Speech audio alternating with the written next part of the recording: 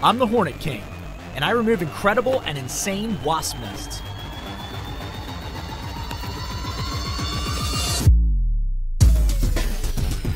Whether their nests are underground, in a house, in a tree, or even down a well, I'm the person crazy enough to extract them, and I do so with my trusty vacuum.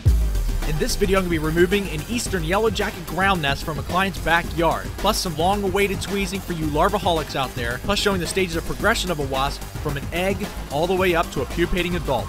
Check it out.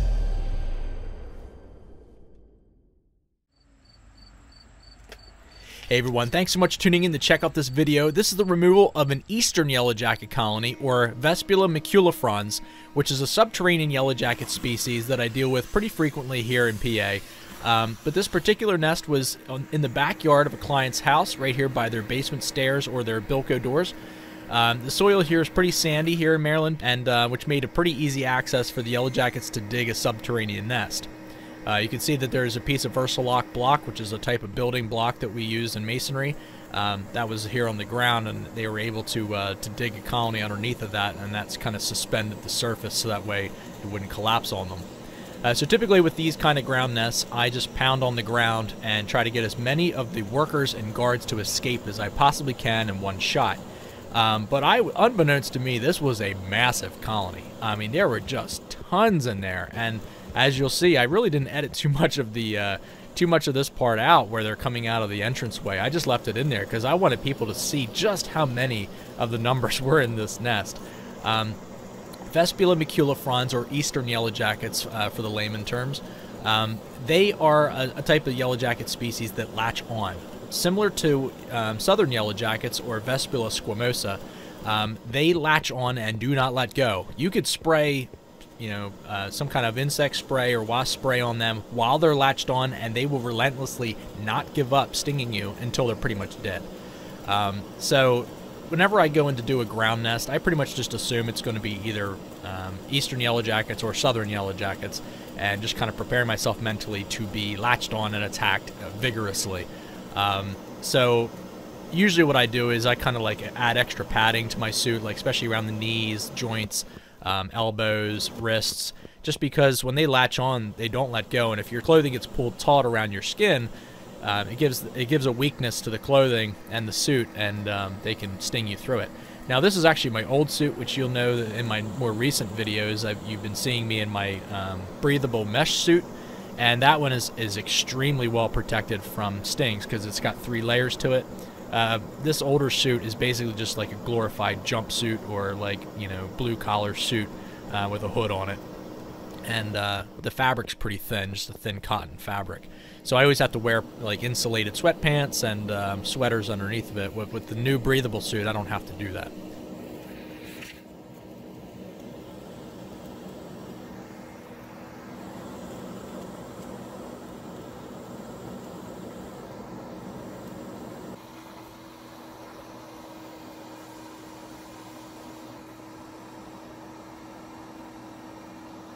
So there's a big wolf spider walking by there.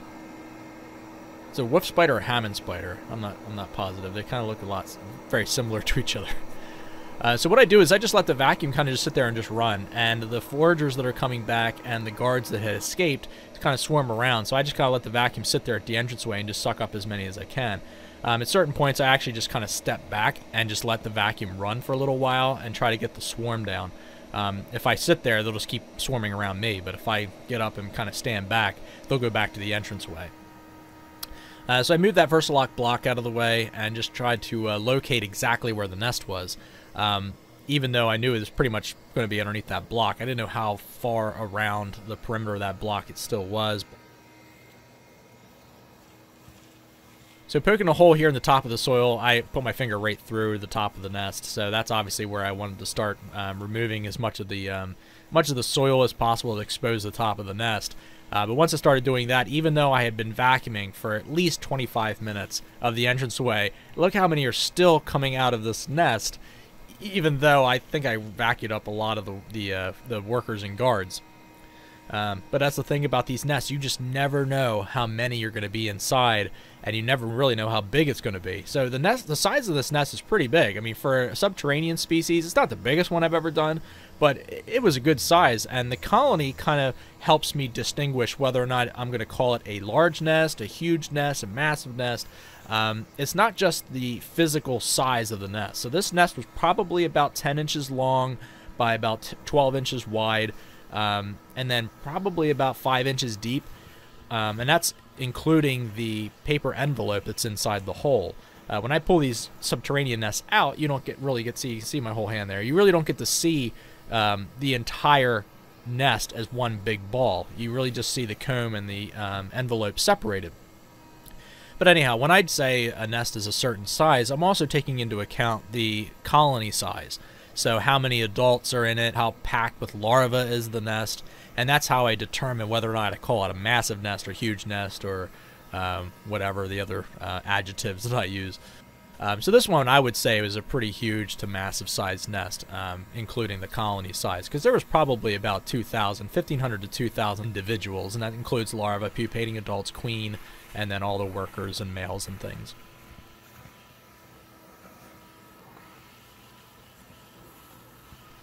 So as with any of my ground nests or subterranean species nests that I just kind of go around with the vacuum and suck up a lot of the soil. It doesn't hurt my vacuum to suck up the soil because there is a lot of water in the bottom, so any soil that comes in pretty much hits that water and just kind of like turns into sludge. So I don't have to worry about it getting into the filter or getting into the, uh, which the filter in my shop vac is just a foam filter. It's not a, a uh, particulate filter.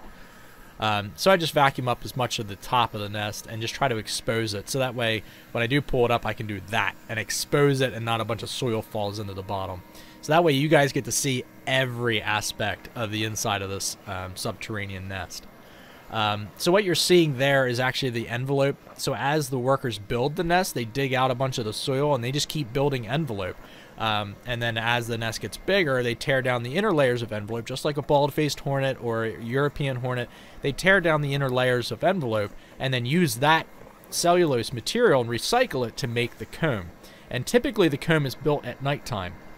Any of the nests that I've studied here at my house, including Vespa crabro, which is a European hornet, um, anytime I watch those types of nests being built from, you know, at nighttime, they're building the comb at nighttime. So, I mean, they do build comb during the daytime too, but um, they use more of the cellulose that they tear down from the inner walls to build the comb. But just look at the size of that thing. I mean, it, that's pretty big. I mean, that's a pretty good sized nest. Um, not a lot of layers to it, just about five different layers of comb. So obviously they were still building it, but you could see that they were hindered to making the large circular comb by the concrete of the Bilco doors. So they, they weren't able to really um, make like one big uniform patty for each layer. Uh, so they kind of had to make like a, you know, kind of an oblong and slightly off-center style. Um, but yeah, so I went down into the into the soil there, and they were digging out around a lot of those pebbles and things. You can see a lot of smooth pebbles down in that hole too. Um, so, and underneath the envelope, you'll notice that there are a lot of males, and there are some new queens down there. But this was kind of earlier in the season, so not a lot of the new queens and males had hatched yet. So um, the ones that you would be seeing me suck out of the hole here are actually just excavators or workers that are digging the actual uh, or doing the actual excavating. So I just push in a lot of the soil as I can and just pack it in there. So that way any ones that are in there, I mean, it's pretty barbaric, but they, they get covered over and, uh, and, and they die under there. Um, and I try to fill in as much of the cavities as I can because you don't want foragers coming back and just kind of like hunkering down inside of the old cavity space. So I do try to put the block in there and just push around the sides. That way there isn't any like uh, any holes to go into. But I do poke a hole where the original entranceway was in the soil and just make it a dummy hole. And I just let the vacuum sit there and suck up the returning foragers and, and guards. You can see that they're latched all over my arms, all over my gloves. And they just don't let go. I mean, they'll just sit there and keep stinging and stinging and stinging and stinging until I either smush them or pull them off. Um, but typically, if they're already embedded, you can see them on my veil and on my suit. But typically, if they're embedded into the leather with their stinger, they, it pretty much disembowels them when I pull them out. Uh, not because they have a barbed stinger like a honeybee, but just because that their stinger gets lodged in there, and, and they can actually sting in multiple different directions. Their stinger doesn't just come straight out of their abdomen; like it can come out at different angles, uh, which I've noticed in my uh, my macro shots. So pretty interesting stuff. So I just let the vacuum run for about 15-20 minutes, and just until uh, most of the foragers and swarm kind of dies down. So I get the nest home, and as usual, I open up my little bin here and uh, and start vacuuming off the rest of the workers and things off the nest. Now there weren't too many on there, just because I had vacuumed up a lot and had really shook the nest up while I was there doing the removal. So not a lot of individuals were in between the layers. Um, I did not find the queen per se, uh, but I think she had gone up into the vacuum while I was doing this. I did find the queen in the vacuum when I was finished.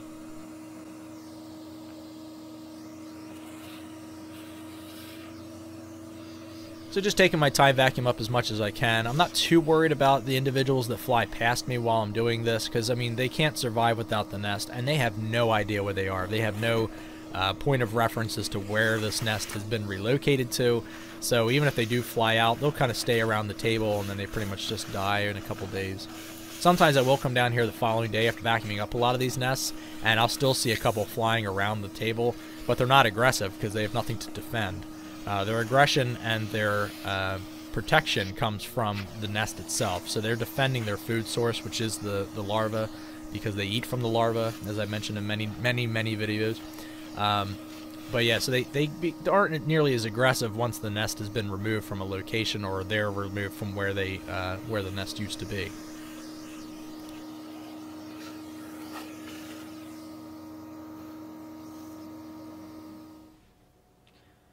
For a lot of my Larvaholic viewers, here is your much awaited tweezing video. So I brought this nest inside and decided to tweeze out as much of the larva as I can. Um, so you'll notice that there's some of these nests that just have a lot of silk caps on them, which is the white that you're seeing. Almost looks like a bullseye. Um, those white parts are actually silk caps that the larvae weave when they're ready to go into their metamorphosis state and turn into an adult wasp. So the larvae themselves will weave that silk cap. It's basically like a paper by the time that it hardens.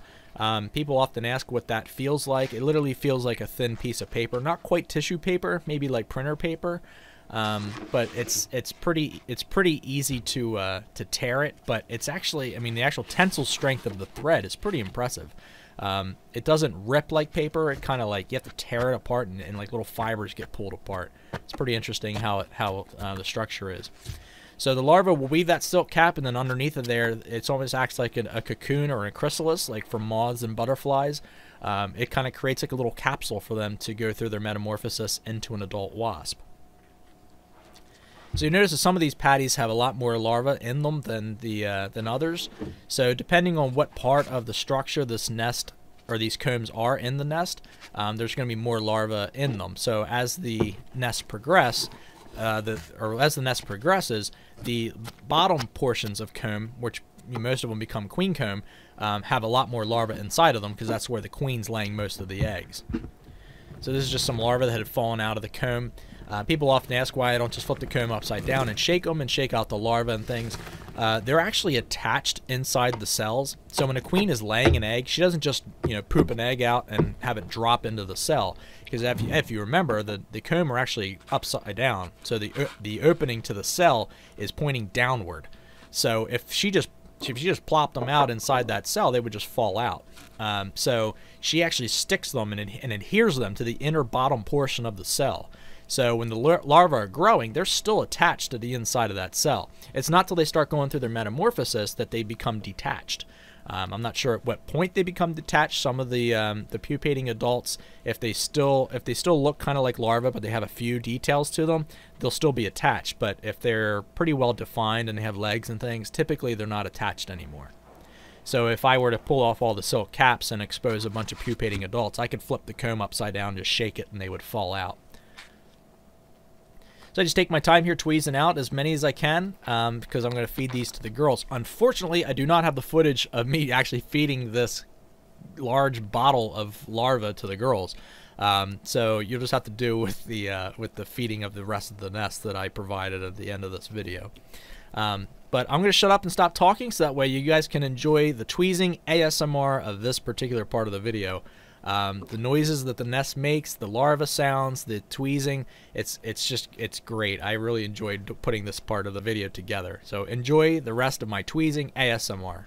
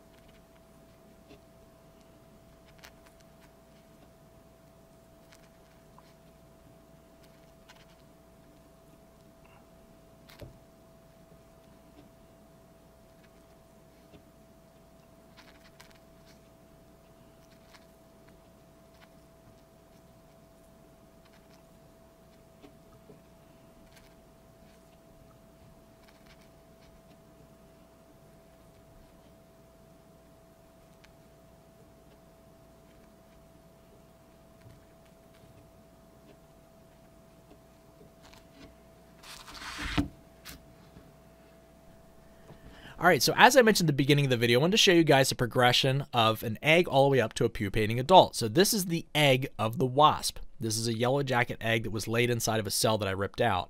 And then it eventually starts progressing into a larva. Now this larva, you can see, is still attached to the inside of the cell. I ripped the cell apart so that way you guys could see it from the inside. So you can see how she's stuck to the inside of that paper. And she'll do that. She'll be that way all the way up until she starts pupating.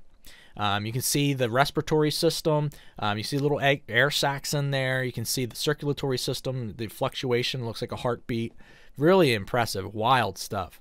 Uh, you can see the head of the larva starting to form. So her mandibles are, are pretty pretty well established at this point, so she can process food. This is a larger larva, and I want to be able to pull this out so you can see a little bit more of the, uh, the, a little bit opaque, but you can see through a little bit to see the air sacs. So the little white dots you're seeing are the air sacs of the larva, and as she, as her circulatory system works and her body is moving from the inside, that muscular movement is drawing in air to for her to process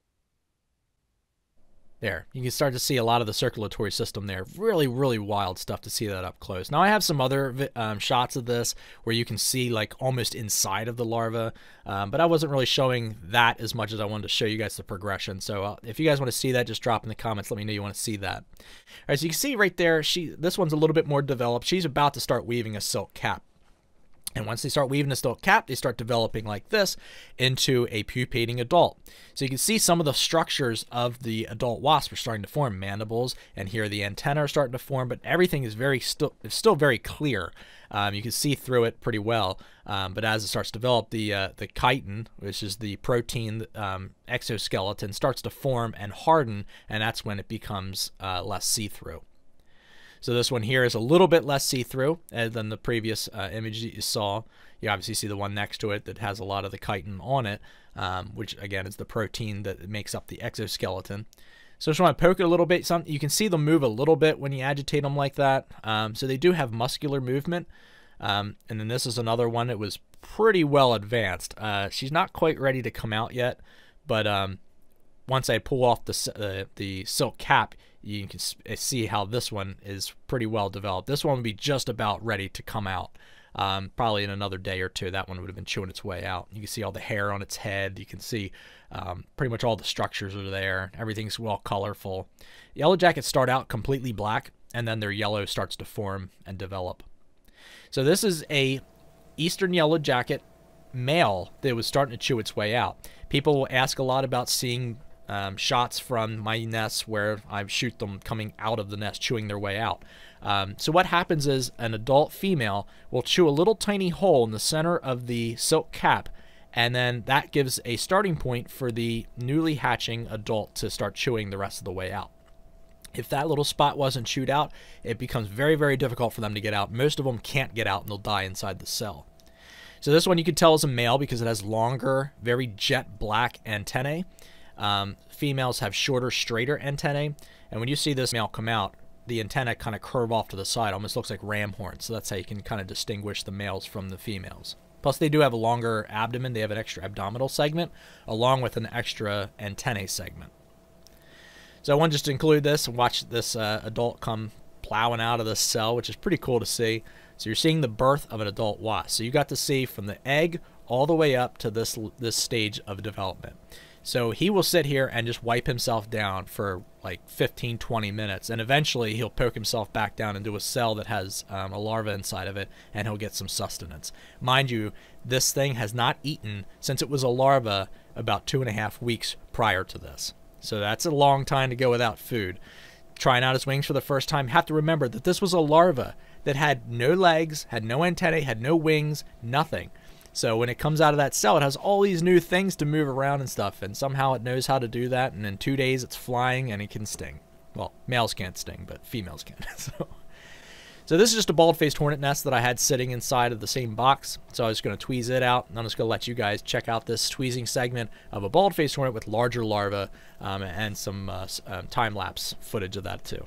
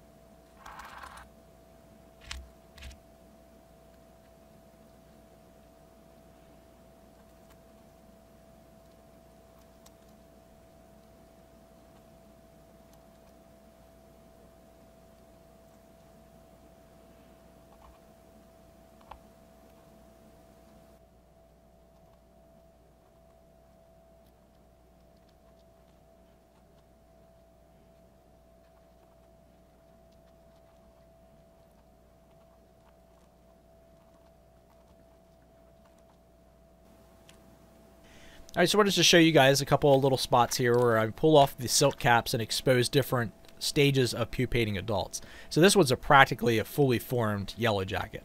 Um, she wasn't quite ready to come out yet on her own, but uh, obviously I forced her out. Um, this is a very early stage of pupating adult. This one doesn't have much of its chitin actually formed yet.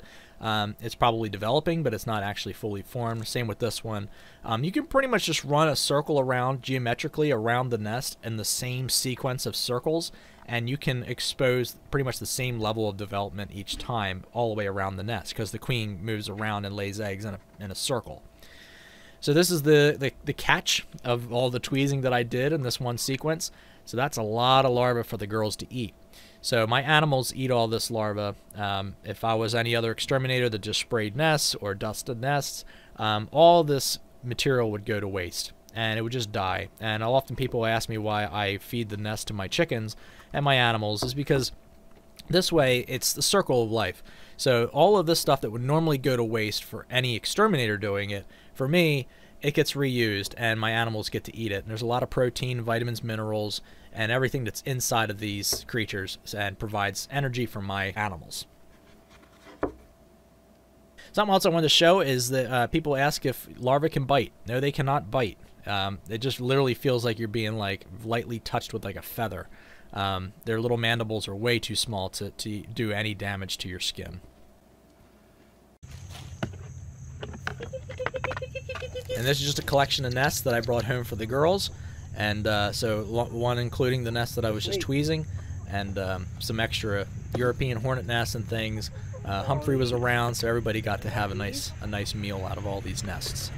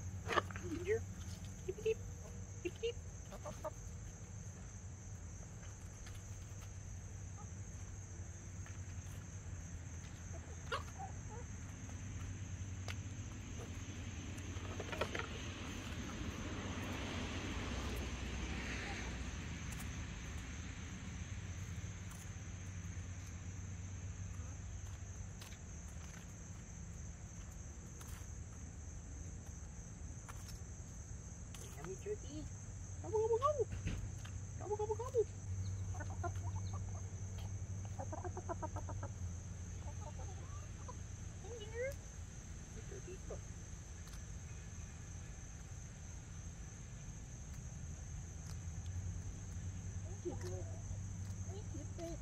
Oh, that's a nice chippy.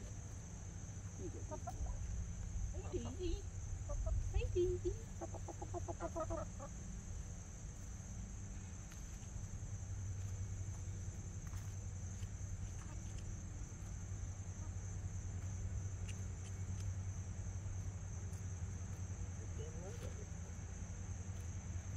alive. Gobble, gobble, gobble. Gobble, gobble, gobble. Hello, turkey. Gobble, gobble, gobble. Gobble, gobble, gobble.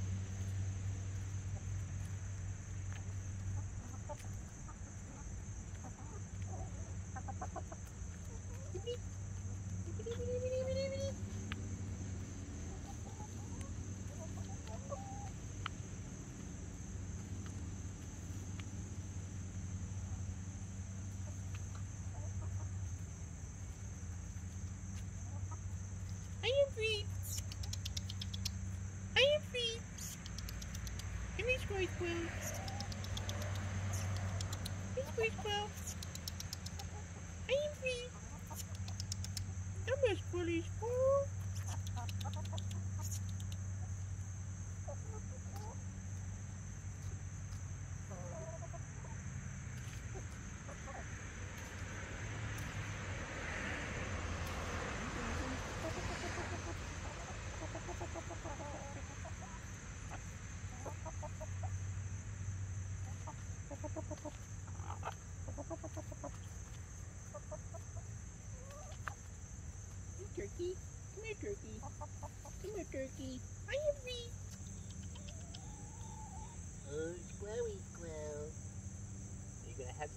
Squirrely squirrel?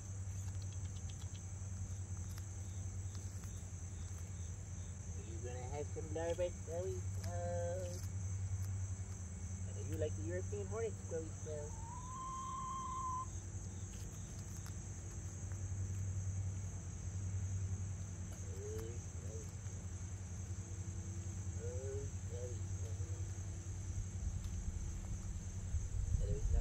Larvae, squirrely squirrel. You want the squirrel?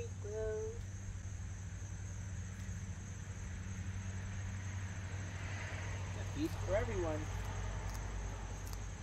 A feast for everybody. Oh, oh, oh. Oh, Humphrey Squirrel. Humphrey Squirrel.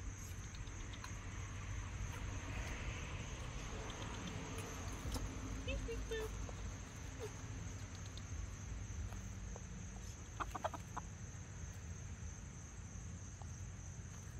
Humphrey. You better watch that. Gonna put up with that. She's a bully squirrel. You don't mess with a bully squirrel. That's not Miss Emily. She's not afraid of you.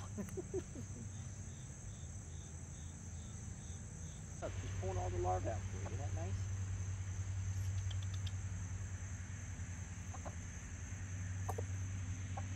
She ain't gonna put up with that.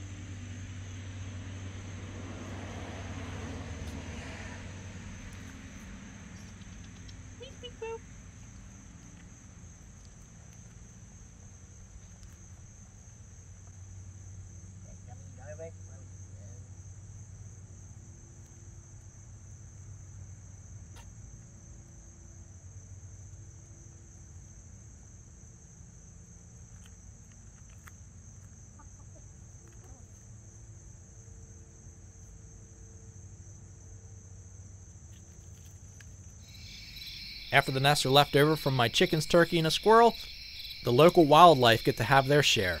So anything that's not eaten by my animals directly is then eaten by the wildlife that's nearby my house. We have a, a couple possums and about three different skunks. And they love to munch on the yellow jacket and hornet nests that I bring home. So this is one of my skunk buddies that um, likes to make its rounds at nighttime during the uh, on season of yellow jacket and wasp nest removals, and she's getting her fill right here, um, eating these nests. So this is about 12 o'clock at night, and you get to see this uh, this cool creature munching down and getting its fill.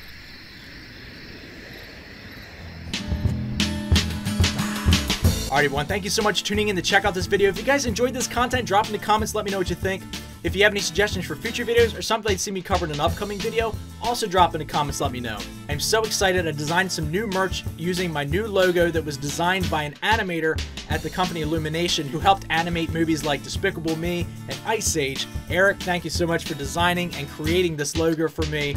I love the logo on my new merch, and a lot of my viewers have expressed some excitement over the new logo as well. So I designed a bunch of new merch that's on my Teespring account. So if you click on my merch shelf down below this video, you can get to it. But if you're having trouble seeing, because sometimes on phones and other devices, uh, the merch shelf doesn't show up for whatever reason. So if you go to my main channel page and you click on the store tab, it should be there and you should see the Teespring account link and click on that and that should take you to my Teespring store where you can find a lot of my shirts and things.